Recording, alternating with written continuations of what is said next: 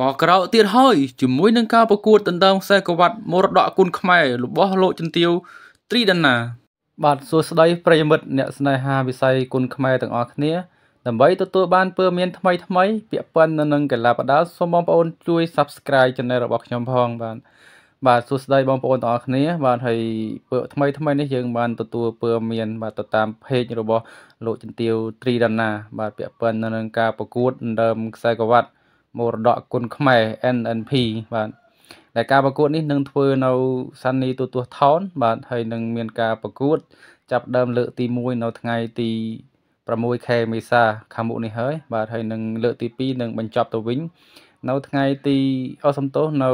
ខែមិថុនាបាទហើយរង្វាន់ដែលទទួលបាន គឺមាសសុទ្ធ2តម្លឹងហើយនឹងទឹកប្រាក់40លានរៀលបាទ ដោយសារតែមួយរយៈចុងក្រោយនេះសន្ទុះនៃការគ្រប់គ្រងទៅលើវិស័យគុនខ្មែរមានការរីករាលដាលច្រើន បាទដូច្នេះហើយធ្វើឲ្យលោកចន្ទាវត្រីដាណា បាទមានការសប្បាយចិត្តក៏ដូចជាចូលរួមលើកស្ទួយទៅលើវិស័យគុនខ្មែរដោយគាត់បានរៀបចំ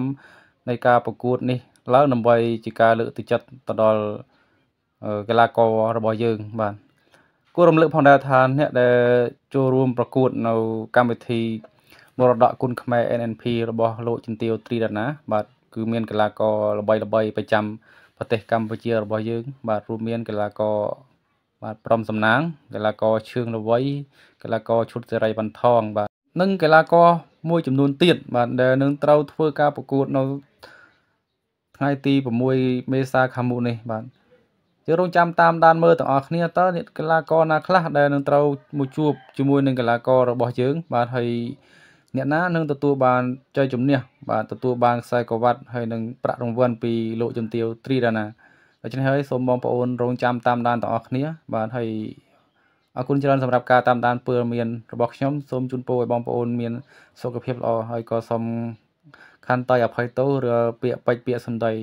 ដែលនិយាយខុសដោយប្រការណាមួយក៏សូមខន្តីអភ័យទោសសូមអរគុណសូមជម្រាបលា